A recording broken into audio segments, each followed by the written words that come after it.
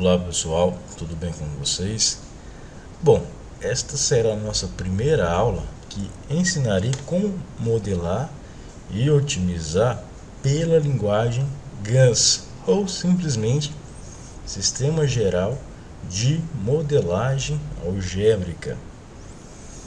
Vocês podem baixar uma versão Pro do próprio site da GANS www.gans.com e download da versão corrente, tá ok? Bom pessoal, o que, nós faremos hoje será com base naquele exercício da dinâmica do simplex. Então você se lembra que foram nós temos que produzir quatro produtos: mesa, armários, camas e cadeiras. Foram distribuídos 12 peças grandes e 20 peças pequenas para cada grupo. Aqui nós temos as especificações técnicas de cada produto, ou seja, quanto que cada produto utiliza de cada recurso, que no nosso caso, peças grandes e peças pequenas. E por último, pessoal, aqui nós temos a, o lucro unitário da venda de cada produto. A mesa são 16 reais, cadeira 14, armário 9 e por fim cama 12 reais. O primeiro passo é desenvolver isso no modelo matemático, lembrando-os com rigor matemático. Em pesquisa operacional, o rigor matemático deve ser pleno, tá ok? Bom, o que, que nós temos que enxergar? Comentei com vocês que obedeço quatro etapas. Primeira etapa, desenvolver o índice e seus conjuntos. Segunda etapa, definir os parâmetros. E a terceira etapa, definir quais são as nossas vari variáveis de decisão. Então, a primeira etapa, pessoal, eu não tenho produtos e recursos então nós teríamos um índice para cada objeto. Então eu chamarei aqui, ó, tudo que for índice tem que vir em itálico e em minúsculo, tá? Nunca esqueçam disso. Então, I é o índice dos produtos. Izinho pertence ao conjunto isão, vírgula. Isão igual, porque agora vamos descrever quais são os conjuntos isãs. Do, do, quais são os conjuntos associados ao isão mesa, cadeira, armários e camas, que são nossos produtos. J recursos. J pertence ao conjunto J. J é igual. Agora descrever os elementos do conjunto J. Peças grandes e peças pequenas. Quando eu comentei com vocês parâmetros, são toda informação, todas as informações numéricas. Nós temos lá o lucro unitário, o quanto que o produto I utiliza de cada recurso e a disponibilidade de cada recurso. Então eu chamaria aqui, pessoal, de matriz A e J, ou seja, quanto que o produto I consome do recurso J. Lembrando que A é uma matriz. Os elementos da matriz A pertencem aos índices I e J. Quem que é BJ? B é a matriz. J, a disponibilidade do recurso J. E por fim, CI, o preço de venda do produto I. Qual é a nossa variável de decisão? XI, o quanto produzir do produto I. Essas são as três, três etapas que nós encerramos a modelagem. A quarta etapa é o desenvolvimento do modelo matemático. Ficaria assim, pessoal. Maximizar o somatório de izinho que pertence a isão. O que significa isso? Em que em cada linha vamos variar o índice I em toda a extensão do seu conjunto, vezes o nosso lucro unitário. Já comentei isso em aulas anteriores. Sujeito A o somatório de izinho que pertence a isão x e j tem que ser menor ou igual a bj para qualquer j que pertença ao conjunto j. Bom, o que significa isso? Em cada linha vamos variar todo o índice em toda a extensão do seu conjunto, mantendo constante os nossos recursos. Então, linha 1, por exemplo, mantenha-se, manteremos constante o recurso peças grandes. Então, ficaria x1 mais x2 mais x3 mais x4 menor ou igual. Qual é a disponibilidade desse recurso? 12 peças, conforme já visto nas aulas anteriores. E por fim, pessoal, x tem que ser maior ou igual a zero. Ok? Bom, agora vamos modelar isso na linguagem GANS. Para associar com vocês, eu vou adotar esses mesmos critérios aqui. Ok? Então vamos agora para a linguagem GANS. Esta é o quadro da linguagem GANS. Então nós, em GANS, a gente adotaria o mesmo, o mesmo, a mesma forma. Isso aqui que é conjuntos, em inglês, set. E produtos. O azulzinho, claro, significa texto. Então você, pode escrever de qualquer forma. Quais são os produtos? Mesa, cadeira, armários e camas. Assim fica muito feio, né, pessoal? Eu não gosto de modelar com texto. Então vamos colocar assim, ó, de 1 a asterisco 4, ou seja, tem uma sequência de 1 a 4. Lembrando que 1 mesa, 2 cadeira, 3 armários e o 4 significa cama. J recursos. Lembrando que é verdinho significa conjuntos.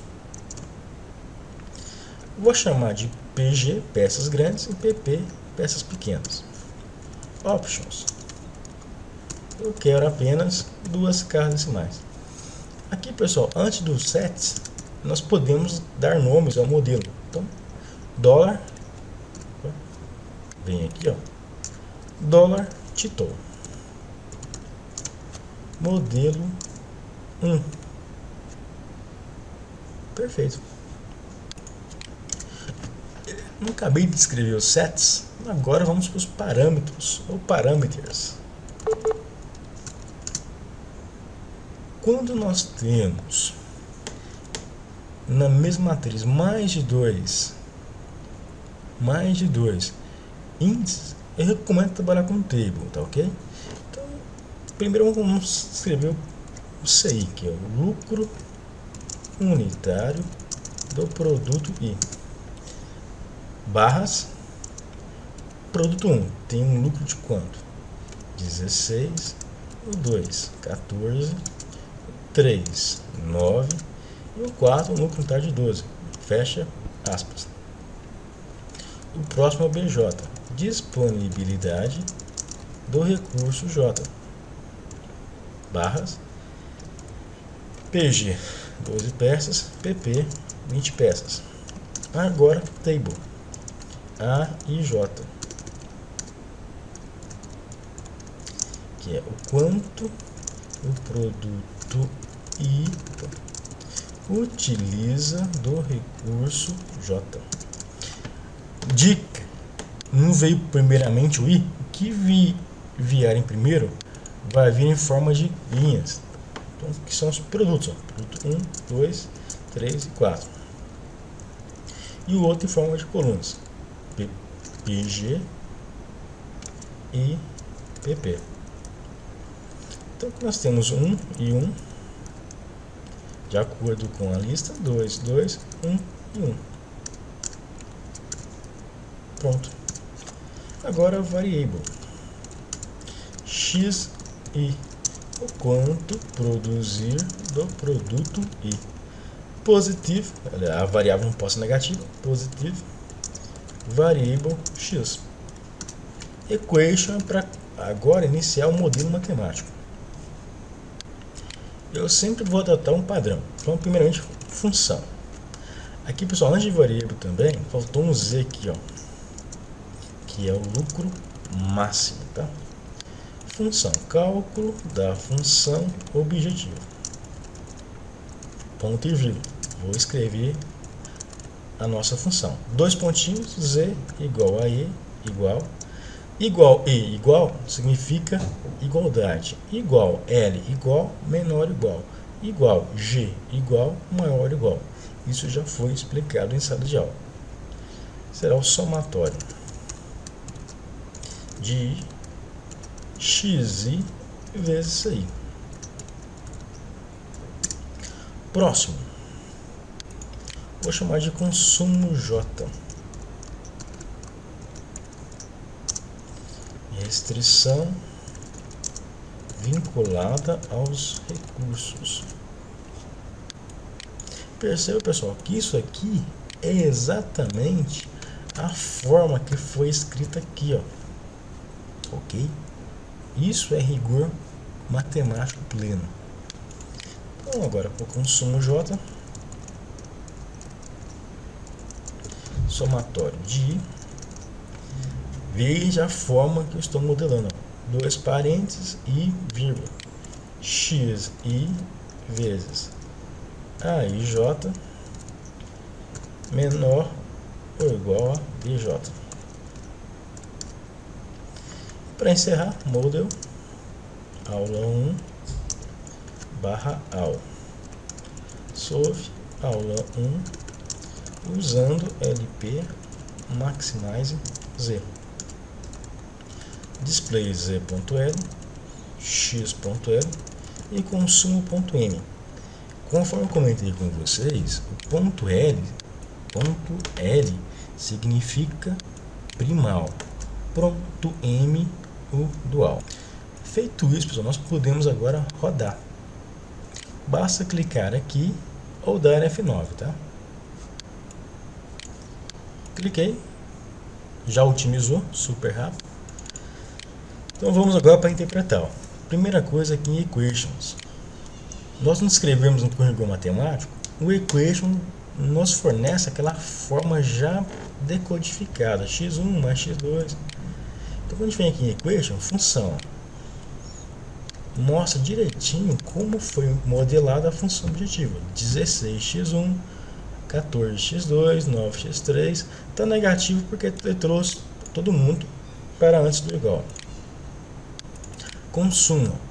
Que eu comentei com vocês, em cada linha variamos o índice i em toda a extensão do seu conjunto, mantendo constante o nosso recurso. Então, a primeira linha nós temos aqui ó, peças grandes x1 mais x2 menor ou igual a 12. 2x1 mais 2x2 menor, mais x3 mais x4 menor ou igual a 20. Ok? Aqui é uma forma de nós identificarmos se o modelo foi feito corretamente, se as lógicas estão corretas. Aqui em modelo estatístico, temos aqui as estatísticas do modelo. A quantidade de equações, usamos só três equações, a quantidade de variáveis, tá ok? e o bloco de equações e o bloco de variáveis. Isso eu já expliquei em sala, não vou explicar aqui. E por fim o display. O legal da linguagem GANS é que ela é baseada em, em C++ mais banco de dados. Então nós temos aqui o que nós escrevemos aparece. O que, que significa o valor de 176? O lucro máximo. Nós também temos aqui ó, o quanto produzido produto I. 8 e 4. Produzimos produto 1 no caso mesmo, 8 unidades, produto 4, que no caso aqui são camas, né, a quantidade de 4 unidades. Aqui nós temos os duais, R$ reais e R$ reais para peças grandes e peças pequenas, respectivamente. Ok? Pessoal, para encerrarmos, a linguagem GANS também ela tem interação com o Excel. Esses são os comandos para que as respostas, ao invés de olhar as respostas no display, imagine um cenário que nós tenhamos um monte de variáveis, um monte de produtos.